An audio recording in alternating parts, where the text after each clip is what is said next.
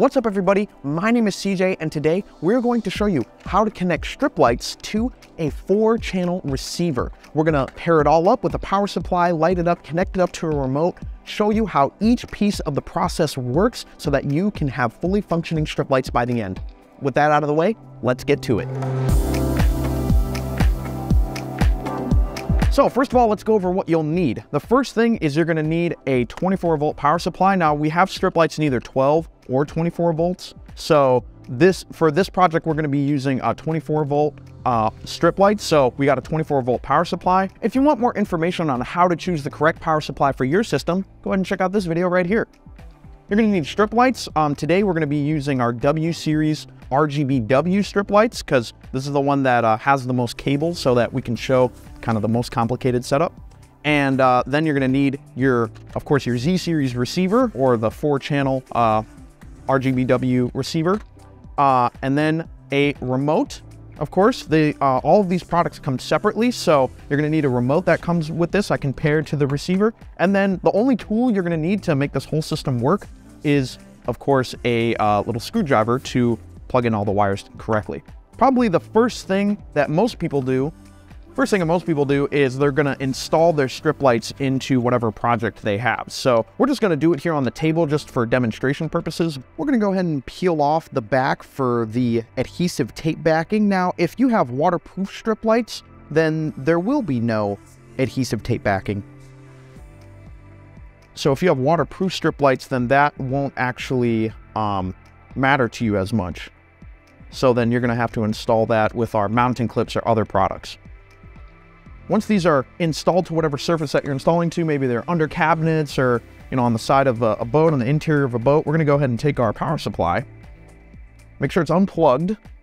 So the next thing we're gonna do is get our Z-Series receiver right here and our power supply and wire these together because the power is gonna feed the receiver, which is gonna feed the strip lights. So the first thing we're gonna get here is our wires. And so there are two wires here that goes with the two leads. And so the red wire lead goes to the V positive and the black one goes to the V negative lead. And you see they translate to these two power inputs right here. So we're gonna go ahead and install the red where it goes and the black where it goes. So the red goes to V positive right here. And we're gonna go ahead and, and screw that in with our flathead screwdriver. Again, that's our only tool that we need. And the black goes into here just like this.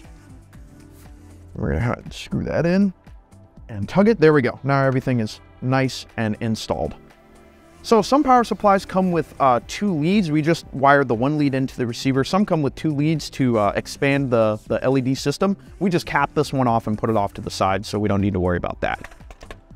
So the next thing we're gonna do here is go ahead and wire in our strip lights. Super simple system kind of along the same lines, we have our black V positive lead that goes into here. We have our red, green, blue, and white, and those all correspond to the wires that we have here. So we're gonna go ahead and install each one of those accordingly, and this might just take a little bit of time here.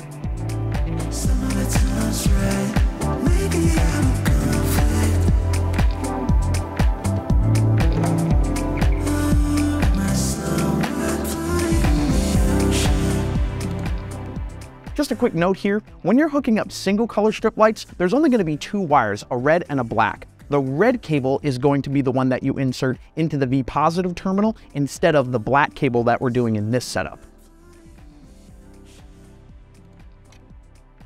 There we go and they're all nice and safely in there. Now that everything is plugged in, ready to go, let's go ahead and take our controller and start to pair it. If you want a more in-depth tutorial on how to pair this remote to this controller, go ahead and check out this video on this card right here. Okay, so the first thing we're gonna do is go ahead and hit the power button for the red light, and we'll wait for the red light to come on. Let's go ahead and hit our learn button on the controller right here. We'll hit our zone button and then we'll go ahead and hit our color wheel.